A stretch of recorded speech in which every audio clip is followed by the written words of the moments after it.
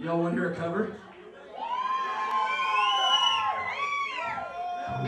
Hey Jason, we wrote this cover for your birthday. Well, we didn't write it, but we had, we had someone else write this song 15 years ago for your birthday. Now we're gonna cover it.